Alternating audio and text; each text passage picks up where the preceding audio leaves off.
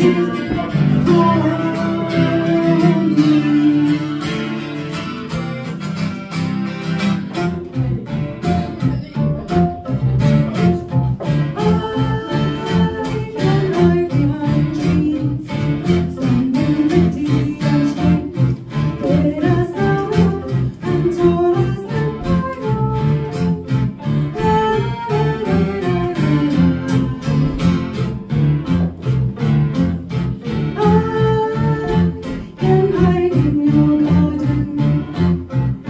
behind and puts her feet below.